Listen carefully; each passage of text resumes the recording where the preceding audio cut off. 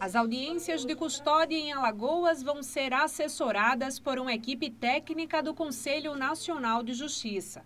A iniciativa é uma das ações do projeto Justiça Presente, que objetiva enfrentar a crise no sistema carcerário brasileiro e foi apresentada a juízes criminais no Fórum do Barro Duro. Esse assessor ele terá uma atribuição de buscar, junto com os juízes do sistema de justiça, pensar quais são os gargalos, o que precisa ser melhorado, tanto do ponto de vista da estrutura da audiência de custódia, do sistema de informação e também na construção de uma rede social que dê condições à inclusão dos custodiados que são liberados da audiência de custódia e apresentam vulnerabilidades sociais. A coordenadora técnica do CNJ afirmou que o trabalho de assessoria em Alagoas deve começar no meio do ano e durar até o final de 2020. O assessor de audiência de custódia eh, deve chegar entre junho e julho desse ano, ainda em 2019, e atuar até o final de 2020, que é a gestão atual do, do ministro Toffoli do Conselho Nacional de Justiça.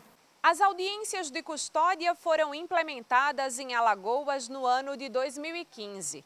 Nelas, presos em flagrante são levados à presença do juiz no prazo de 24 horas, para que o magistrado avalie a legalidade e necessidade de manutenção da prisão do infrator. Esse técnico vindo, ele trará, sim, é, uma ajuda substancial.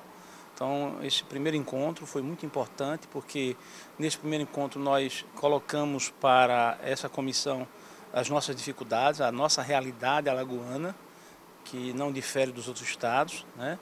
E de maneira que eu vejo isso com bons olhos e o Poder Judiciário só tem, evidentemente, a ganhar os jurisdicionados, né, a população carcerária de uma forma geral. A equipe do CNJ visitou ainda a vara de execuções penais no Fórum da UFAL. O magistrado titular da unidade destacou que avanços no sistema prisional passam pela melhoria nas audiências de custódia. Vai haver uma otimização maior, vai haver uma orientação para os colegas e para as pessoas que, que estão envolvidas no processo da audiência de custódia que das medidas adotadas para reduzir a população carcerária, reduzir a entrada de pessoas no sistema prisional, essa, indubitavelmente, foi a mais importante, a que surtiu efetivamente efeito.